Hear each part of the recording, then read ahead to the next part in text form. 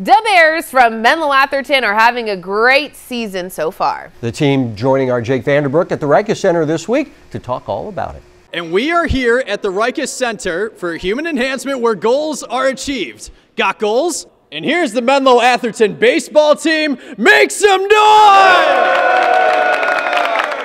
Oh yeah, we're riding with the Bears. So starting off with Jack Malise, who's hitting just over 380. So Jack, talk about, you know, a successful batting average that you got thus far. Just talk about your confidence level whenever you step into the batter's box. Um, yeah, I mean, I always think that I'm going to get a hit whenever I step up to the plate, and uh, I've been just trying to be aggressive early in counts, and that's what's been giving me all my success. So I'm going to continue to do that. Yeah, and you know who's also aggressive in the Bears box? This guy, Rowan Kelly. He's hitting over 400. He's got four dingers on the season, leads the team with runs bad in.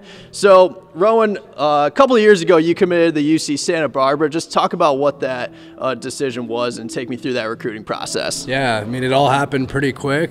Um, I'm still extremely happy with my decision. I just realized that, you know, Santa Barbara checked off all the boxes that, you know, I cared about great academics, great baseball team, great location. I just I couldn't ask for a better place to spend the next four years. Oh, for sure. And finally, I'm going to make my way over to Ryder Kelly, who is uh, Rowan's brother. So, Ryder, just talk about what it's like uh, being out there playing with your big bro.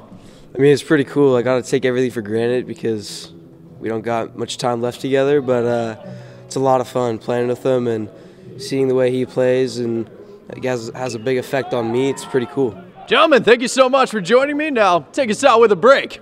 Bears on three, one, two, three. Bears!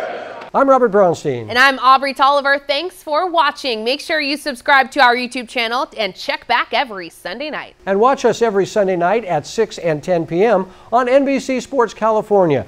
We'll see you at the games.